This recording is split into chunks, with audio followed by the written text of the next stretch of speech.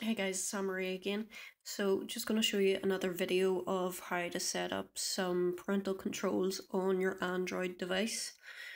Um, most kids pretty much hit the Play Store to download apps and games and whatnot.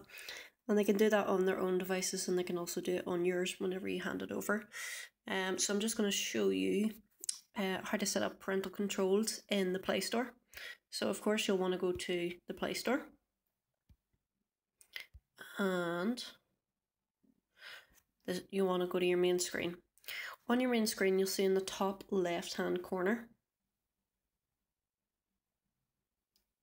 hit that and it'll bring you to settings. Scroll down in the settings and there you'll see parental controls. Turn this on. I set up a pin, don't make it an easy pin, just for the demonstration purposes, I'm just going to set an easy pin. Obviously kids are more tech savvy, so set something that they're maybe not going to guess so easily. Um, so here in apps and games, once you click on that, you can actually select the level of age rating for the games and apps that you want to set. So whenever it says PEGI 3, PEGI 7, PEGI 12, that's just age. So obviously if you have kids under the age of 3, you'll want to maybe just hit PEGI 3.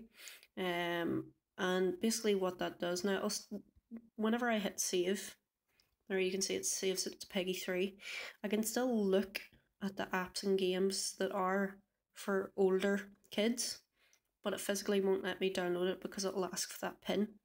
Films, you can do the exact same. PG, if you um, you know, rent any games off the Google Play Movies. TV's the same.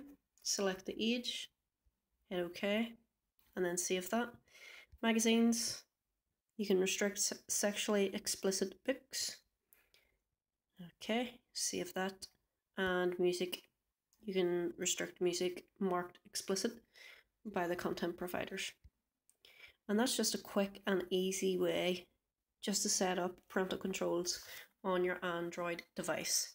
So might not be an Android phone, it could be an Android tablet, either or you can set those controls.